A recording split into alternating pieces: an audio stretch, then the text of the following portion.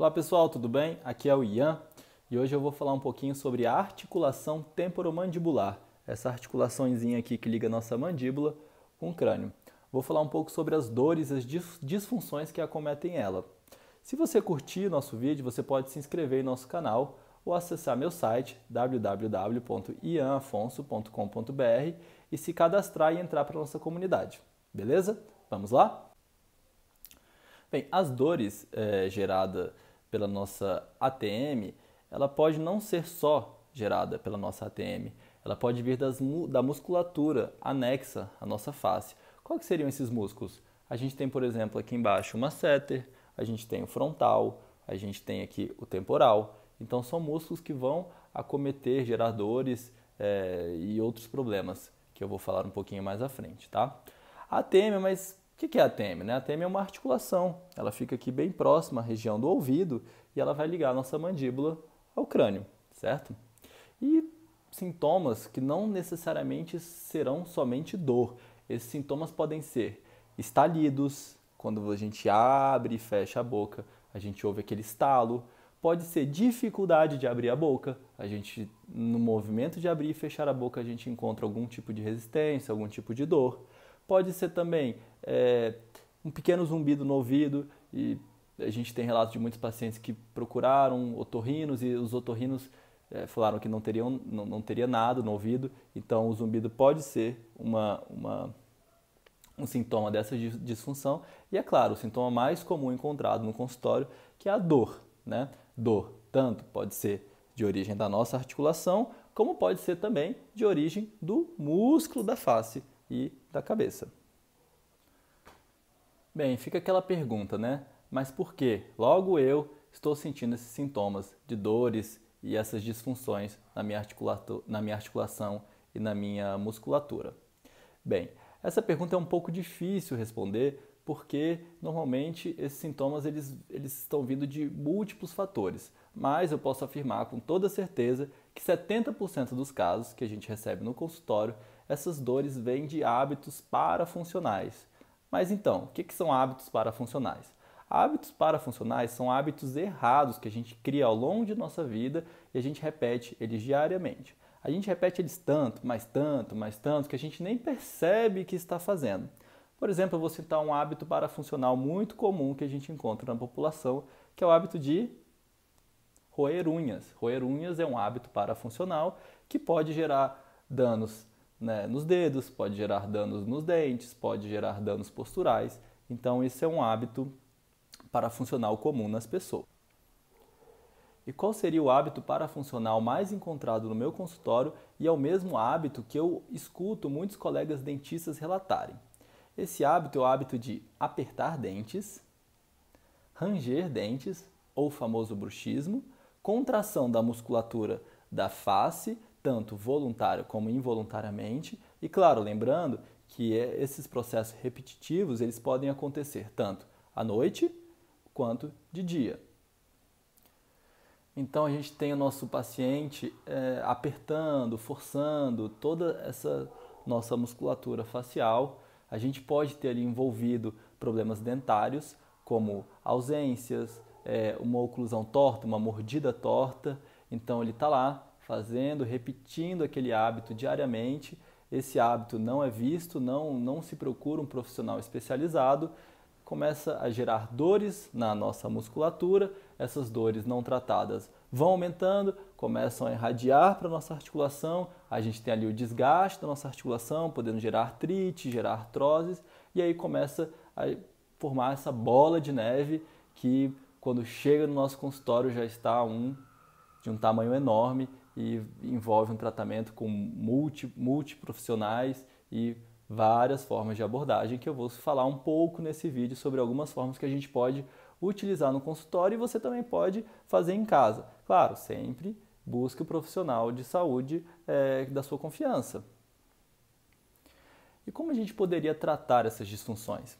Essas disfunções elas têm múltiplas formas de tratamento, porém aqui nesse vídeo eu vou citar somente as mais comuns.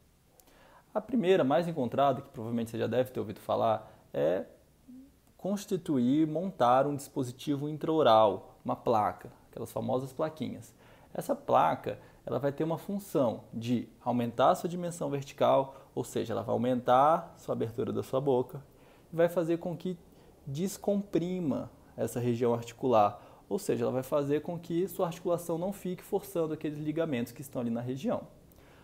Outra coisa muito importante que essa placa faz com que, com que seu cérebro ele enxergue que tem alguma coisa dura ali entre seus dentes, ou seja, essa placa tem que ser dura. Então, por exemplo, você está com essa placa que eu vou mostrar como se fosse esse lápis.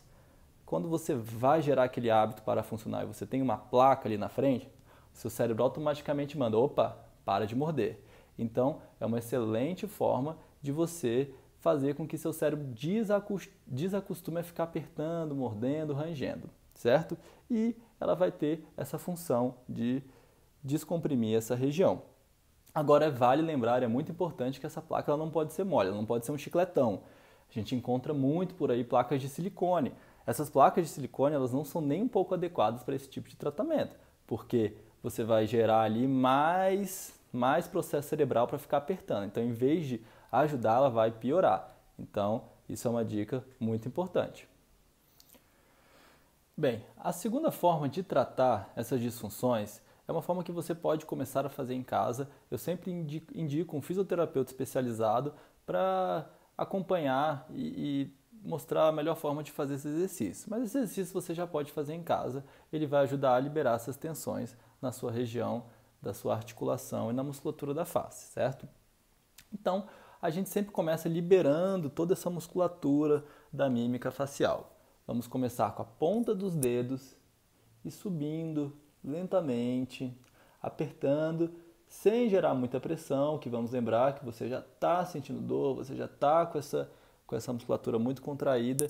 Então a gente vai liberando toda essa região de baixo até em cima. Podemos fazer isso 10 vezes. Você já vai sentindo essa região bem relaxada.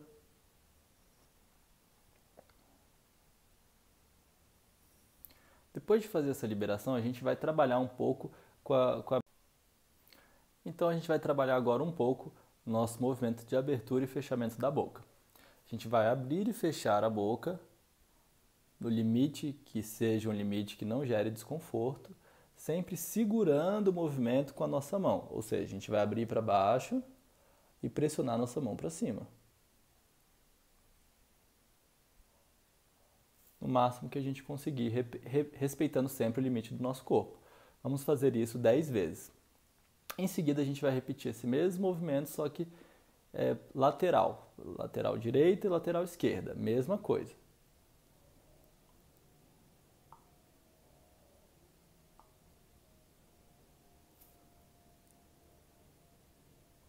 Sempre segurando o movimento, tá bom? A gente pode fazer isso algumas vezes até a gente sentir essa nossa musculatura relaxada. Após a gente fazer esses dois exercícios, a gente vai buscar os nossos trigger points. O que, que são esses trigger points? São pontos de tensão. A gente vai com as pontas do de dos dedos buscando em todas as nossas musculaturas da face e da cabeça.